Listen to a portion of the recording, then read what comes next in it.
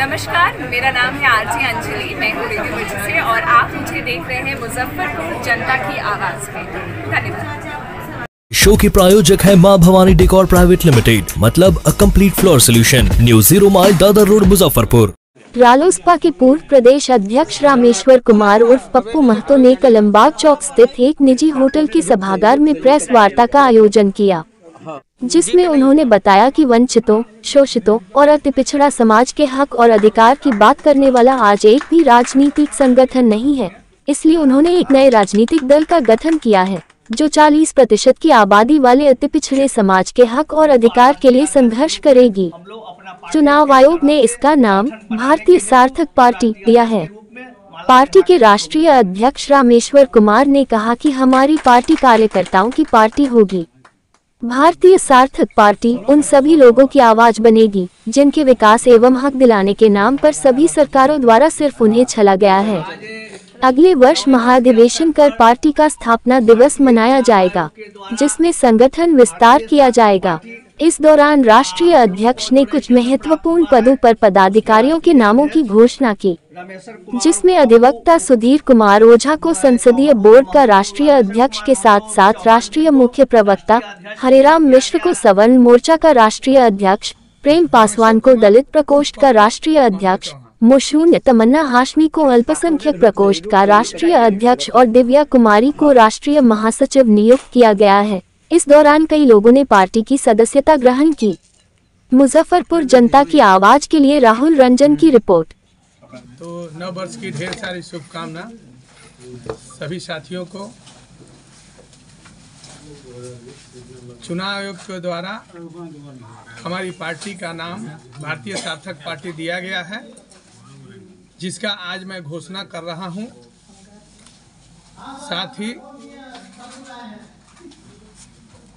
आने वाले कल में हम आज के बाद जो संगठन का विस्तार करेंगे, उसमें चूँकि मैं अनेक पार्टी के प्रमुख पदों पर रहा हूँ, और मैंने देखा है कि सभी पार्टियों में कार्यकर्ताओं का कोई मान और सम्मान नहीं है, और इसका दंश हम खुद भी झेले हैं, और इस सबको देखते हुए साथ ही दलित उपेक्षित अति पिछड़ा पसमानदा मुस्लिम ये सब जो भी समुदाय है इन सबको आज़ादी के 75 साल भी खासकर अति पिछड़ा समाज जो 40 प्रतिशत की आबादी रखता है आज़ादी के 75 साल भी इस समाज का को अ, की स्थिति जो है आर्थिक सामाजिक शैक्षणिक और राजनीतिक दृष्टिकोण से आज भी ज्यों का त्यों तो इस सबको देखते हुए हमने पार्टी का जो निर्माण किया है, भारतीय सार्थक पार्टी, इसके लिए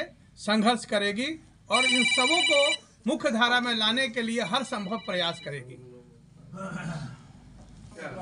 देखिए, आज जो प्रेस कॉन्फ्रेंस बुलाया गया है माननीय राष्ट्रीय अध्यक्ष महोदय के द्वारा, वह पार्टी की जो गठन हुआ है, उसके नामों की घोषणा के साथ साथ कुछ पदाधिकारियों का मनोनयन भी इनके द्वारा की गई है, जिसके तहत मुझे राष्ट्रीय अध्यक्ष पार्लियामेंट्री बोर्ड के साथ साथ एक महत्वपूर्ण पद दिया गया है इस पार्टी को देखने और चलाने, समझने के लिए राष्ट्रीय मुख्य प्रवक्ता।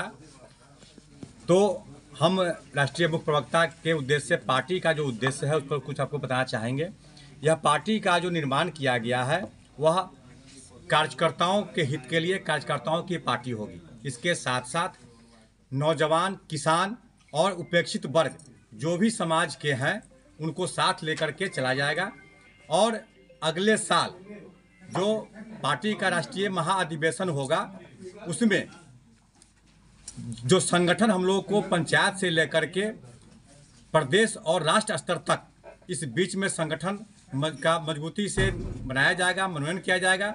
और उस संगठन का जो महत्व है, उस संगठन का जो धारदार संगठन होगा उसको उस महाधिवेशन में दिखाने का कार्य किया जाएगा और हम लोग के साथ, सभी वर्गों के साथ साथ अति पिछड़ा शत प्रतिशत साथ हैं, यह भी आपको उस महाधिवेशन में दिखेगा। सुधीर कुमार ओझा, राष्ट्रीय अध्यक्ष, पार्लियामेंट्री बोर्ड सह राष्ट्रीय मुख्य प्रवक्ता, भारतीय सार्थक पार्टी। वर्ष की आप लोगों को शुभकामना के साथ मुझे रामेश्वर कुमार महतो उर्फ़ पप्पू महतो के द्वारा राष्ट्रीय अध्यक्ष सवर्ण प्रकोष्ठ का राष्ट्रीय अध्यक्ष बनाया गया है। इसलिए मैं सर्वप्रथम इनको बधाई देता हूँ और अपने दायित्व के बारे में मैं आपको यह बताना चाहता हूँ कि आज तक सभी पार्टी ने अपने दल के बारे में, जाति के बारे में बात किया था, लेकिन श्री रामेश्वर कुमार महतो ने एक नया अभिनव प्रयोग करके, अति पिछड़ा और सवर्णों के को मिला के बिहार में एक नया प्रयोग करने का अभियान चलाया है। इस अभियान में राष्ट्रीय स्तर से लेकर प्रदेश स्तर तक पूरे बिहार के दौरा करने के पश्चात मैं यह स्पष्ट कर देना चाहता हूँ कि आने वाला जो चुनाव लोकसभा का होगा, उसमें अति पिछड़ा और सवर्णों की एक मिली भगत से एक नया समीकरण बनेगा और वह समीकरण सभी पार्टियों से भारी बनेगा और इस कार्यक्रम में मैं पूरे बिहार का दौरा करने के बाद आगामी सोलह जनवरी चौबीस को स्थापना दिवस एक साल पूर्ण के बाद स्थापित करके और आने वाले समय में यह बताऊँगा कि मेरी पार्टी सभी पार्टी से भारी पड़ेगी। मैं हरिराम मिश्रा, सवर्ण प्रकोष्ठ राष्ट्रीय अध्यक्ष। अपने सपनों की आशिया को दे एक नई पहचान। माँ भवानी डेकोर प्राइवेट लिमिटेड के साथ जो है ऑथोराइज डिस्ट्रीब्यूटर ऑफ़ कचारिया देश की मिट्टी से बनी टाइल से देश को बनाते हैं और जहाँ मिलती है सभी प्रकार के Indian and imported granite marble sanitary एवं कोटा स्टोन का अनोखा एवं आकर्षक संग्रह। माँ भवानी डेकोर प्राइवेट लिमिटेड मतलब अ complete floor solution new zero mile Dadar road Muzaffarpur call double nine three four seven five three triple one